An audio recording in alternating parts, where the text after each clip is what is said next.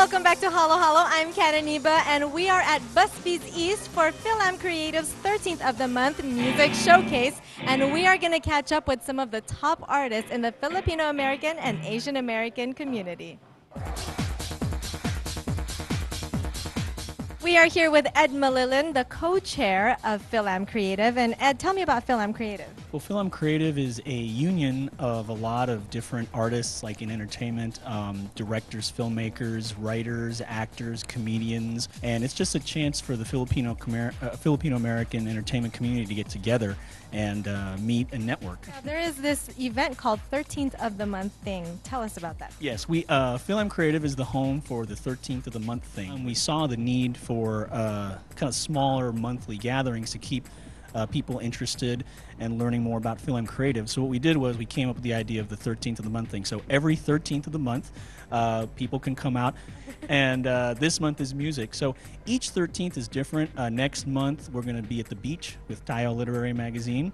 Uh, so hello to them. We basically look for different organizations within the community that want to help us co-sponsor an event, and so basically every 13th. So uh, if you're free on the 13th, come hang out with us. And for more information on FilAm Creative or to be a part of it, what do we need to do? Well, you'll go to www.philamcreative.com, and I'm assuming they're going to edit right around here. Yep. You're going to put that graphic up. Now back to catching up with our favorite Asian artists. Good life, guitar in my hand. I'm about to take my stand. I live large, I take a breath.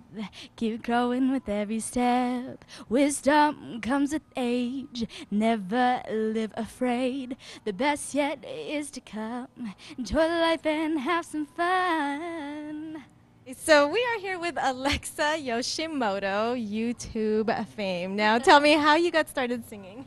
I got started singing about my senior year of high school, and I've always been singing my whole life. Um, but it wasn't until a few friends like introduced me to what how their life was being on YouTube, and I really admired them. And so I decided to kind of follow in the footsteps and just put some videos up and had their support. So they got me started too.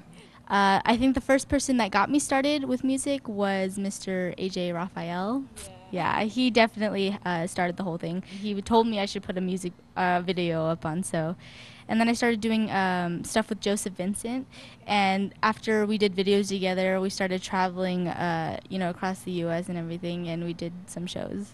There's so much talent out there, and I really want to work with a bunch of other people. So, you know, anyone that I see at shows, I always like to, you know, get their contact somehow, collaborate with them, and get new styles and everything. Guys, we are here with the Status Fiction, and I'm going to have them introduce themselves.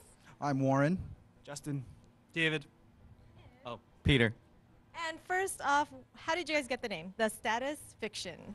I'm not going to lie. We are at a bar one night, and uh, we just came up with the. We, we wanted fiction in the name. We had a couple names with fiction in it, and we were thinking with more of a social networking out there. We decided to do the status. That's actually status colon fiction. So what the status is, it's fiction. It's pretty much up to interpretation. We're still trying to figure out what it means. So. With all this goofing around, I can tell you guys get along really well. Have you known each other for a long time? How did the group get together? Um, I've known this guy since I was born. Uh, yeah, we're cousins. Uh, so yeah, we started off when we were uh, younger in a family band, and uh, with uh, his dad, my uncle, uh, my brother, his sister. just recently, we you know picked up the instruments again.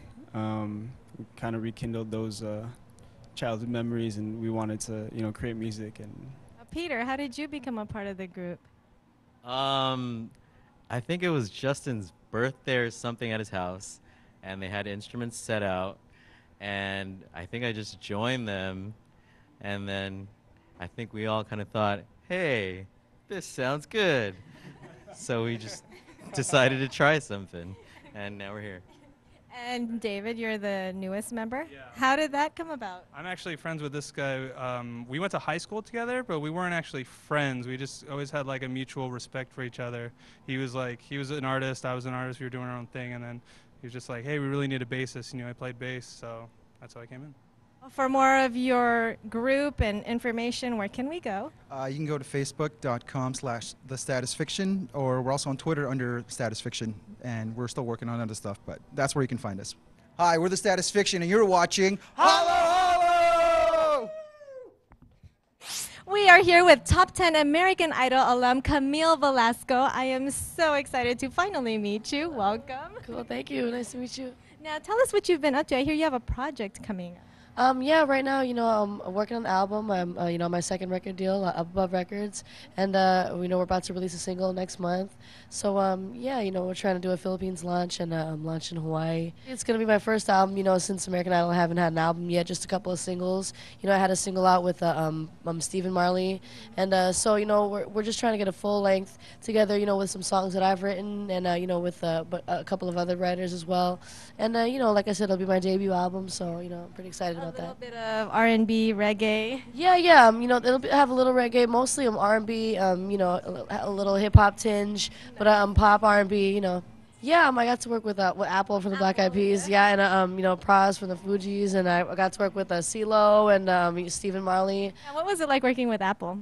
Apple, uh, he's awesome. He's great. You know, he's he, I mean, he's Filipino. You know, so it's we kind of just like got along. He's like my kuya. You know, so we just yeah, we just got cracking jokes right away and just you know, so uh, yeah, we got along really well in the studio. I do want to go to the Philippines. I'm hoping I can get there realistically um, next summer. So you know, I want I want to get the single out and then um, you know get out there you know as soon as I can. Yeah. Congratulations. Thank you.